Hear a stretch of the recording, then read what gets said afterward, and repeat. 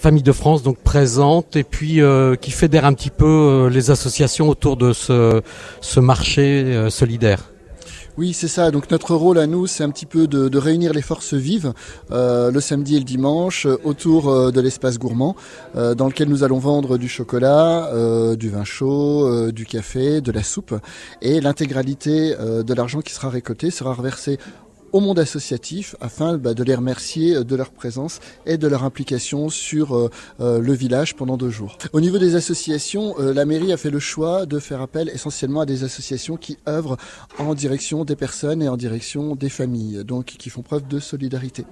Donc les associations seront présentes sur les deux jours dans les différents chalets en bois qui sont montés à, à cette occasion et vont pouvoir présenter les différentes activités qu'elles mènent tout au long de l'année, pouvoir présenter euh, quelles sont les, différentes actions, quelles sont les, les leurs leur prises de position, voilà, tout ce qui fait euh, l'essence des associations.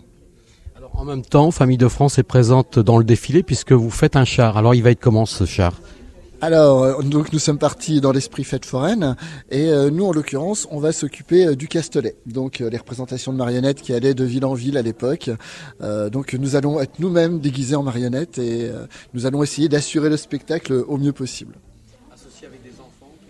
Toujours, le but, c'est effectivement de préparer le char en partie avec les enfants, puisque ce sont eux qui sont à l'origine du dessin qui sera au fond du Castelet.